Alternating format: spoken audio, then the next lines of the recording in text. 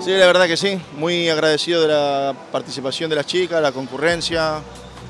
de sus ganas de enseñarse y bueno, también agradecido de la acción de clubes, de esta idea de ir a, darles esas herramientas a las chicas para poder enseñarse, al Club Regata que, asumió esa, responsabilidad de traer chicas de, la zona y a la Federación de Corriente que,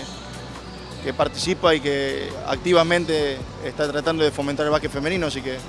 creo que todas las partes estamos muy contentos y, ojalá las chicas salgan de aquí con una experiencia enriquecedora para ellas y, sobre todo que hayan disfrutado. Eh, como vos decís, éxito total para nosotros, un, placer, un honor trabajar en forma conjunta con, con el club, con la asociación de clubes, federación y bueno, eh, la verdad que una muy buena repercusión, como te dije hoy, tenemos a esta chica del Paraguay, la inclusión es, total, tiene que ser así, bueno,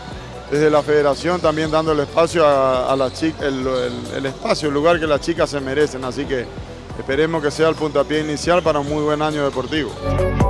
El básquet femenino dentro de la Asociación de Clubes está en franco crecimiento, eh, tanto nuestro presidente Fabián Borro como como la mesa directiva que lo acompaña, eh, tomaron la decisión de,